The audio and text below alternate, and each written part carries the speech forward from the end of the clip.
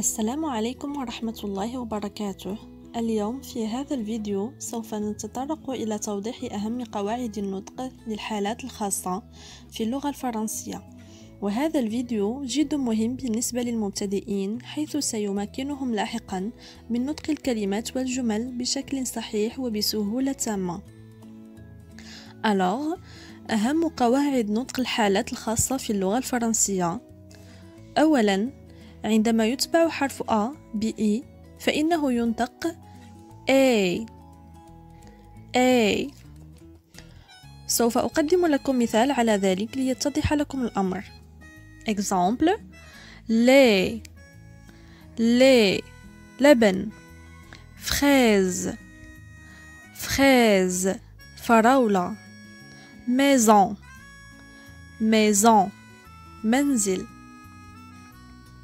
ثانيا عندما يتبع الحرف ب A أو O أو U فإنه ينطق مثل حرف الكاف.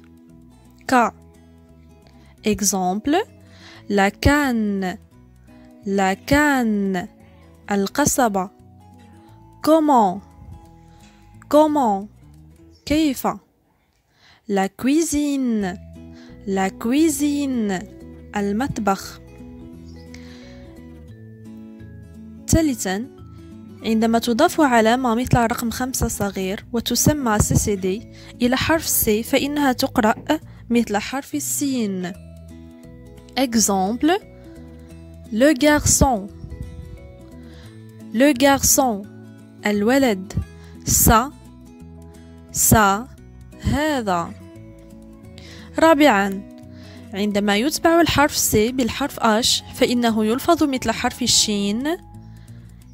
ش Exemple La chaise La chaise الكرسي chaque chaque كل إلا هناك حالات استثنائية كهذه الكلمات technicien technicien تقني technologie technologie تكنولوجيا Chronique. Chronique. مزمن كما رأينا أن CH أي ش في هذه الأمثلة قرأت بحرف ك وليس حرف شين وتبقى حالات استثنائية. خامسا عندما يتبع حرفي سي سي بحرف إي أو أو فإنه ينطق مثل حرف X Exemple Accident. Accident حادثة Accélération Accélération تسارع سادسا حينما تضاف إلى حرف E كل من العلامات ثلاثة E avec accent grave E avec accent aigu E avec accent circonflexe ou avec chapeau فإنه ينطق مثل A A Exemple mère mère أم période période فترة fête fête عيد سابعا عندما يتبع حرف E بالحرف R فإنه ينطق مثل A A سأعطي exemple manger manger يأكل. Terminer. Terminer. انتهى. ثامنا عندما يتبع أ بالحرف إي فإنه يلفظ مثل الألف الممدودة. A A. Exemple. beige beige اللون الأسمر. تاسعا عندما يتبع حرف E بحرف U فإنه يلفظ كما هو ولكن بقليل من المد. eu eu. سأعطي exemple ليتضح لكم الأمر. neuf neuf جديد. beurre beurre زبدة. عاشرا.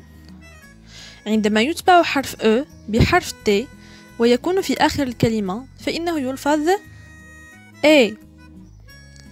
È. Exemple. navet n'avait left. Mais mais طبق إحدى عشر. عندما يتبع الحرف A بحرف U فإنه يلفظ كحرف O. O. سأعطي exemple. aussi aussi أيضا aujourd'hui aujourd'hui اليوم 12 عندما يتبع حرف S بحرف H يلفظ مثل كلمة الشين ش exemple shampoing shampoing shampoo flash flash ضوء ساطع. ثلاثة عشر. عندما يتبع الحرف G بالحرف E أو I أو I أو Y فإنه يلفظ مثل حرف الجيم Exemple gynécologue. Gynécologue طبيب نسائي. Gestion gestion. إدارة. gilet gilet صدرية. أربعة عشر. عندما يتبع الحرف الجي بالحرف A أو U أو O فإنه يلفظ ج ج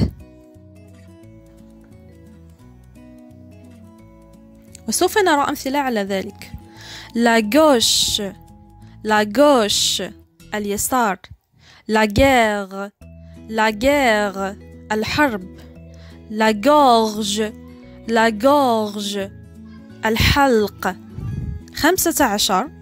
عندما يتبع الحرف G بالحرف N فإنه لا ينطق ولكن ننطق حرف N على شكل ني ني في بعض الحالات سأعطي أمثلة على ذلك ليتضح لكم الأمر جيدا. la compagnie la compagnie الصحبة الشركة أو المجموعة. signaler signaler يشير. كما ترون نطقت I بين N و A رغم أنها لا توجد. la campagne la campagne البادية أو القرية.